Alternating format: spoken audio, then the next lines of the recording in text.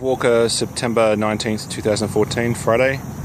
lesson. We have a couple of focal points here. The first thing we changed for Dave today, go ahead, mate, hit, hit away. The first thing we changed today with Dave was um, his clubs. We actually made them a little bit flatter.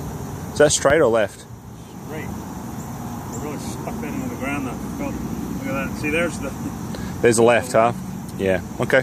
So that's the bo- that's the body opening out. So we haven't we haven't addressed we haven't addressed that. That's something that we'll we'll work on next time. I think some of that's going to take care of itself though. But if you see that, what's your natural instinct? Try and swing a bit more into out. Yeah. Perfect. That's all you need to do. That's exactly what you need to do.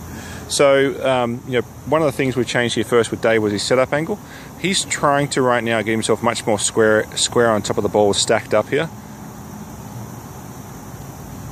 So he does move off a bit more. That one there was that.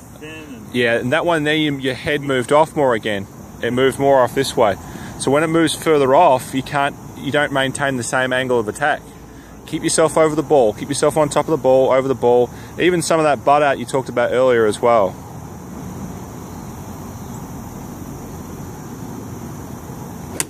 That's better. Straight or left? Uh, little left, huh? Yeah, that's not bad. And not hitting really solid. That just.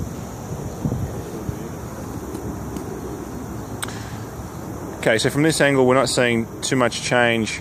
Uh, the staying more square, the staying more stacked on the mid- over the middle, is going to encourage him not to hang back as much. Good swing. Okay, good swing. And when he's not hanging back as much, he's not going to open out as much with his lower body and his, his torso in general. So the only thing that was different with this is there's needs to be gradients uh, throughout the bag. So the difference is going to be in what, what Dave does with his longer clubs, especially driver. So right now the focus primarily for uh, Dave with this swing right here is at setup and the feeling of his body. It's very much a body feel.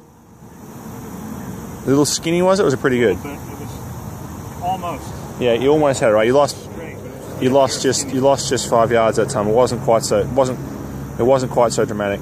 Okay, so the difference here with this, we need to match up what's happening with the irons and what's happening with the driver and the longer clubs. So the body angle being straighter up and down doesn't really suit what we're trying to do with the driver. What we need to do is have the we need to focus more on the hips, not opening them out so much, and the hands releasing, getting that shaft returning back to square. Is that pretty good? Yeah. Just a hair skinny again? Yeah. Okay. Are those divots still going left?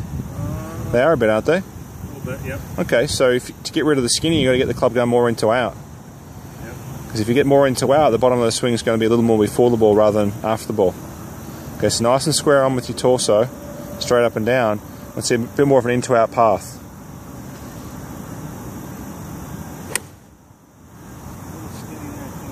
Okay.